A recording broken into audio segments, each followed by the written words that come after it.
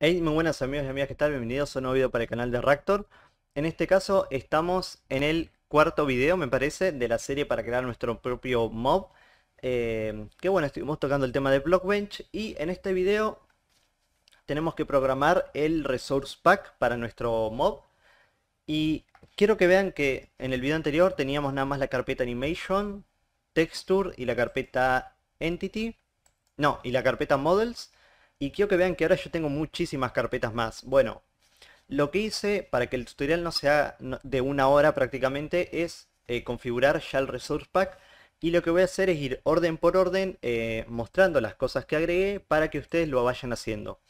Eh, si tienen alguna duda, pausa en el video y pueden copiar el código directamente del video y lo hacen así. En primer lugar, necesitamos, vamos a ir por orden en la carpeta texture que tenemos, eh, nada, está igual que la otra vez. La carpeta entity y nuestro archivo suricata.png. Solamente eso.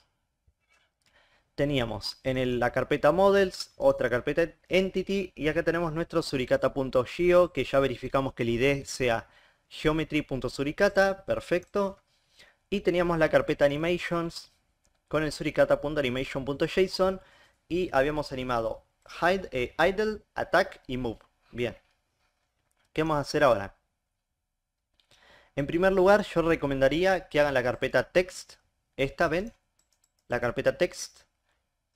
La abren y acá hay un archivo que se llama en-us en mayúscula.lang que esto es para el idioma inglés, pero es el idioma por defecto cuando, por ejemplo, si ustedes tienen Minecraft en español y juegan un addon que no está traducido, lo que va a hacer es que va a venir a este archivo de eh, en-as en español, eh, en inglés, porque es como el de, el de defecto, ¿no? Entonces lo vamos a abrir.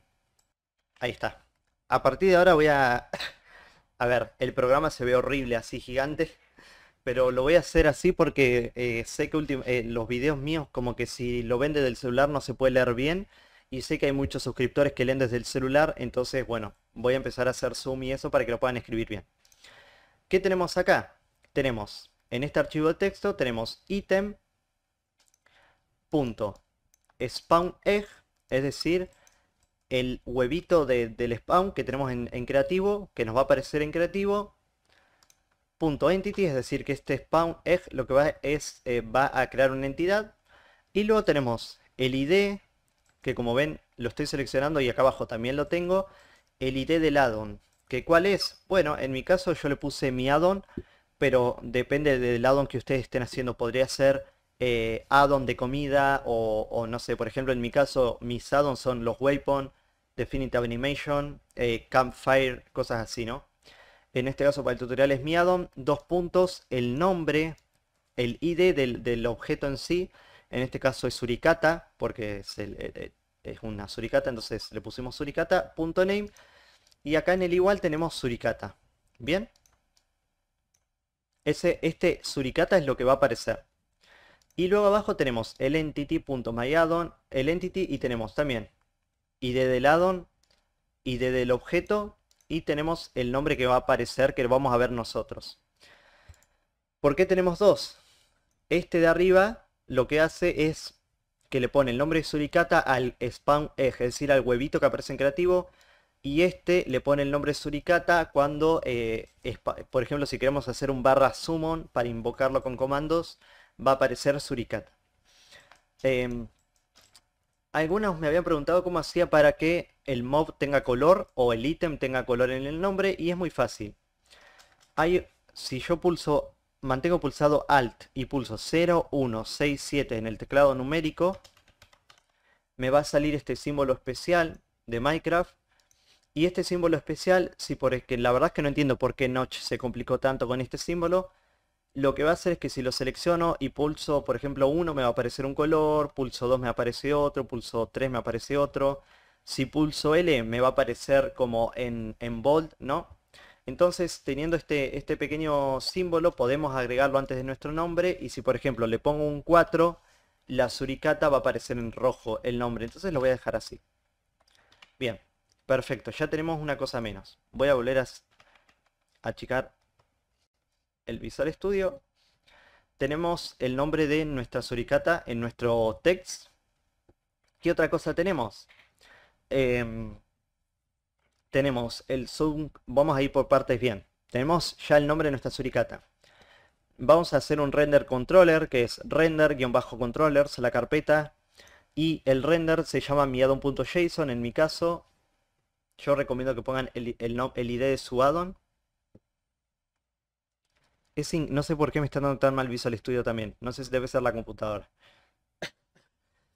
Voy a hacer así para que lo puedan ver bien.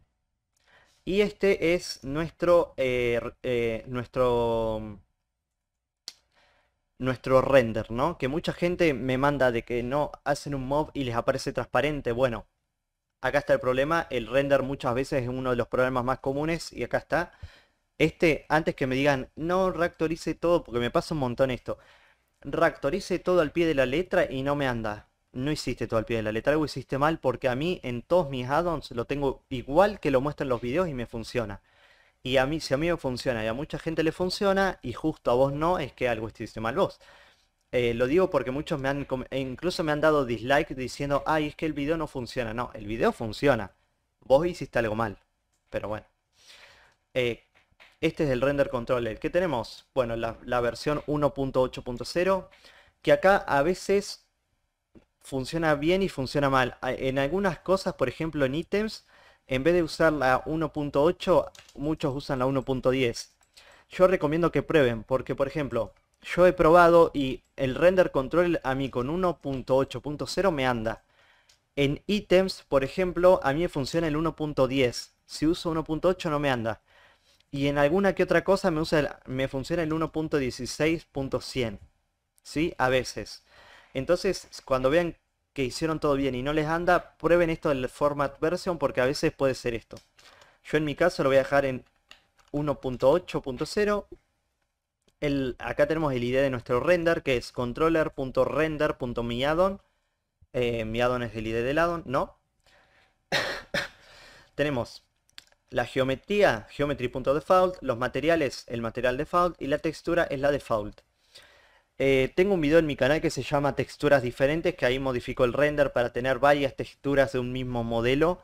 Eh, entonces si ustedes tienen varias texturas de su mob y quieren que al spawnearlo genere diferentes texturas, pueden ver ese video. Em, voy a ponerla ahí. Bien, tenemos nuestro render. Ahora lo que quiero, voy a crear eh, la carpeta entity, la van a crear. Acá tengo suricata.entity.json, la voy a abrir. Bueno, acá empieza el lío del código. Voy a ponerle así. Primero lo voy a poner así para que ustedes puedan pausar el video y lo puedan escribir. Pausen el video, escriban todo el código tal cual y luego cuando ya lo escriban tal cual, modifican.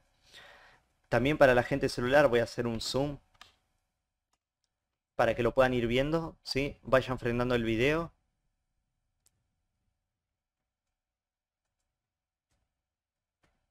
¿Sí? Y bien, ahora vamos a ir por partes. Bien, tenemos, como lo que les contaba anteriormente, en, mi controller tenemos 1.0.8, pero acá en, la en el, el entity de la carpeta entity tengo el 1.10 yo lo puse en 1.8 y a mí no me funcionó. Eh, todo este mismo código lo puse en 1.8 y no me andaba. En 1.10 sí. Así que por eso lo comparto de esta manera. ¿Qué tenemos acá? Bueno, estamos indicando eh, que Minecraft es una entidad de Minecraft, un client entity. Y algunos me preguntan, ¿por qué es client y por qué no es entity solo?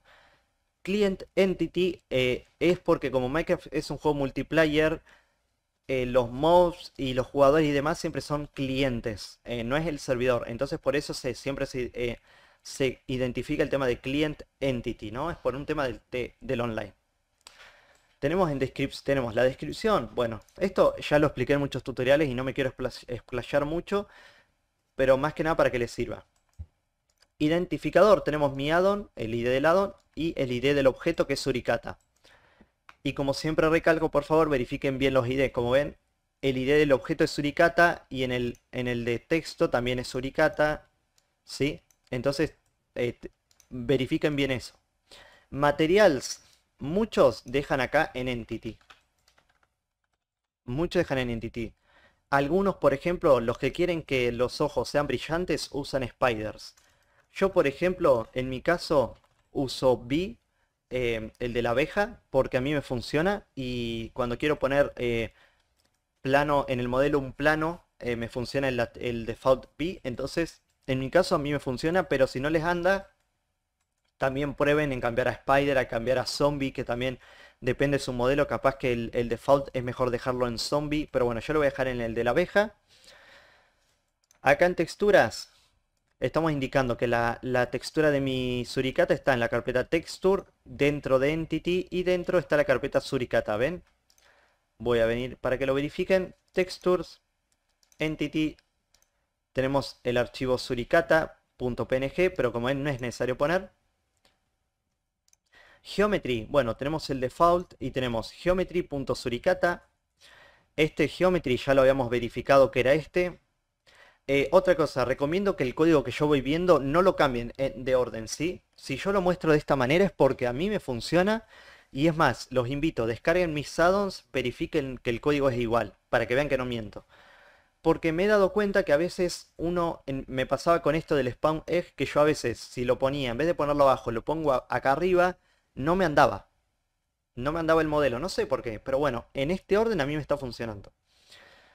Eh, si ven que su entidad es invisible, ya les expliqué en el video anterior, verifiquen la, identidad, eh, eh, la idea del, del, modelo, porque a veces puede estar mal. No por su culpa, sino por Blockbench. Capaz que en vez de suricata pusieron suricatas o, o le escribieron mal. O Blockbench lo cambió. el scripts esto es para el tema del render del animation controller. Ahora lo vamos a hacer. Y este animation, el script tiene, eh, el script se va a llamar animate, ¿sí? Y este script animate va a contar con un controlador que se va a llamar walk controller, que se va a encargar de las animaciones cuando nos movamos. Y de un attack controller que se va a encargar de las animaciones cuando ataquemos, ¿sí? Acá tenemos que, eh, tenemos que especificar nuestras animaciones, ¿sí? ¿Y cuáles son? Bueno, primero indicamos que el Wall Controller, ven que en Visual Studio Code, por eso yo lo recomiendo para programar los addons de Minecraft, cuando yo selecciono me va marcando arriba para verificar que tengo el ID igual. ¿Ven? Tengo el mismo ID. El Wall Control eh, me está indicando que es el controller.animation.suricata.walk, ¿sí? Y el Attack Controller es lo mismo, controller.animation.suricata.attack. Ahora se los voy a mostrar bien no se apuren. Eh, si no entienden bien esto, ahora cuando lleguemos al, Animation Controller lo van a ver bien. Y luego aquí indicamos las animaciones.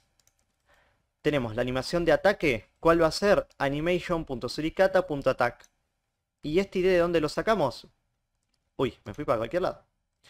¿Este ID de dónde lo sacamos? Bueno, de la carpeta Animations.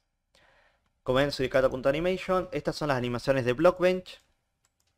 Y como ven, esto lo habíamos visto en el video anterior. Tenemos la animation.suricata.idle, animation.suricata.move y animation.suricata.attack. ¿sí? Estas, estas, eh, estos ID son los que estamos indicando acá. La animación de ataque va a ser este ID. La animación de idle va a ser de idle, va a ser animation.suricata.idle, que es como estar quieto, y la animación de moverse, es decir, la de move, va a ser animation.suricata.move son estos IDs son los del animation, ¿sí? Bien. Luego necesitamos un render controller. Ah, importante, quiero que vean que cada vez eh, que indicamos algo lo dividimos por comas. Si yo la saco van a ver que me lo marca ahí con un error. Hay que poner coma. El render controllers es este, controller.render.miaddon. Y este ID, ¿de dónde lo sacamos? Del controlador que les mostré anteriormente. Es este de acá. ¿sí? Controller.render.miaddon es el mismo que este. Por eso, por eso es muy, es muy fácil que cuando ustedes ponen su addon la primera vez no les funcione el mob. Porque como son tantas cositas, tantos ID, eh, eh, es muy probable que se equivoquen y es normal. A mí me pasó mil veces, me sigue pasando. Pero bueno, ya sabiendo cómo arreglarlo es cosa de ir verificando.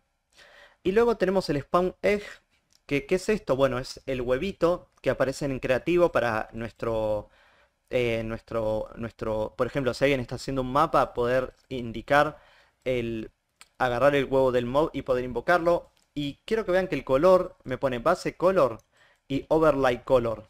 ¿Qué son estos dos colores? El base es el color de fondo y el overlay son como esos pequeños puntitos que tiene el huevo. ¿De dónde lo sacamos? Bueno, este, este ID, yo en este caso lo pueden sacar de Photoshop, de Paint, de cualquier eh, editor de códigos HTML.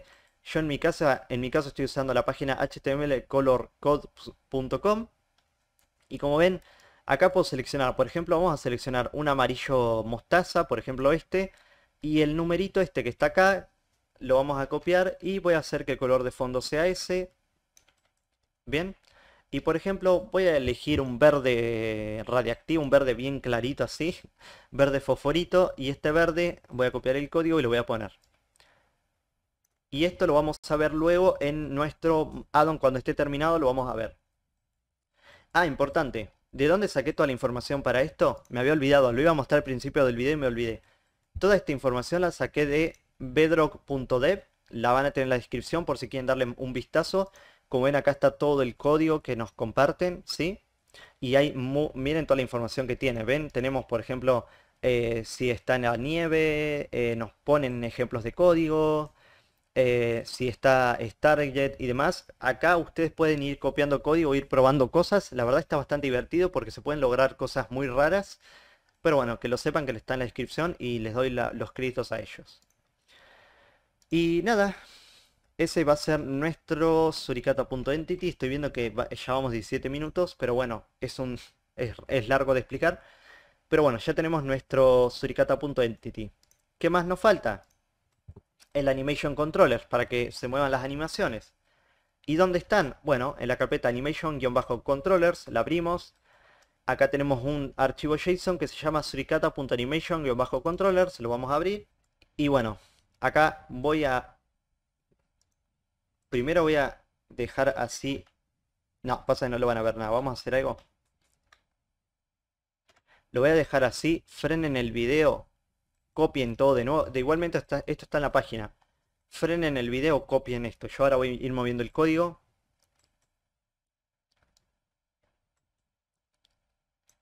Pasa que es mucho lío el tema de las llaves, los corchetes, pero bueno, eh, nada, frenen el video, copienlo.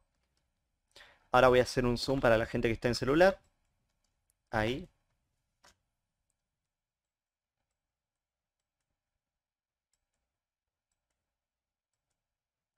Y bien, vamos a ir explicando. ¿Qué tenemos acá? Format versión, de nuevo, 1.10.0 es la que me está funcionando a mí actualmente. Tenemos ID, primero el controlador del ataque, controller.animation.suricata.attack. ¿Y este ID cuál es? Este de acá. Como ven, el ataque, el controlador del ataque es este. Controller.animation.suricata.attack y es este de acá. Bien tenemos el primer estado que va a ser default y nuestra, nuestra transición que se va a llamar attacking. Este ID de attacking es el mismo que tenemos acá abajo. Y esto estamos diciendo que es cuando el mob está atacando, ¿sí? Es decir, cuando estamos dentro de los mobs son como... Eh, tenemos, por ejemplo, el micrófono es un mob y, el micrófono alrededor tiene como una pared invisible que cuando vos entras le indica al mob que estás en su rango, entonces te puede atacar y te puede ir a buscar para atacarte.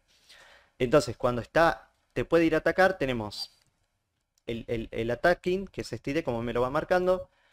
Tenemos una transición para las animaciones que pase de la animación que está actualmente, pase a la animación de ataque y este, si este valor lo vamos modificando, podemos hacer que la transición, en vez que sea de golpe, podemos hacer que sea como un poco más, en vez de de estar parado y, haga así de golpe moverse, haga como un, lento. Así es raro de explicarlo, tienen que probar. En Animation estamos indicando que es la animación Attack. Y este ID de Attack, ¿cuál es? Adivinaron, este ID de acá. ¿Ven cómo se van uniendo todas las cosas? Que parece difícil, pero no. Se van uniendo, todas las pequeñas cositas se van uniendo. Este Attack va a tener una transición y como ven es lo mismo, pero quiero que vean este símbolo. ¿Qué significa? Es cuando no está atacando. ¿Ven? Cuando ponemos este símbolo estamos indicando que no. Ah, en realidad no es que no, es lo opuesto. Es decir, como esto es como un bull que es verdadero o falso, esto estamos indicando, si es verdadero que está atacando, pasa esto. Entonces después que pase esto, va a ser si no es verdadero. ¿Ven? Por eso estamos indicando ese símbolo. Es raro de explicar. Luego tenemos el control.animation.suricata.walk, que este ID, ya les dije, es el de arriba, ¿ven? .walk. Tenemos un estado inicial que es standing, que es como esperando, ¿no? Y este ID standing, como él me lo está marcando abajo, es con la transición va a usar la animación idle. Y esta animación de idle, eh, ¿cuál es? La de acá. La animación de idle es estar parado. ¿Ven? Como que mira alrededor y demás.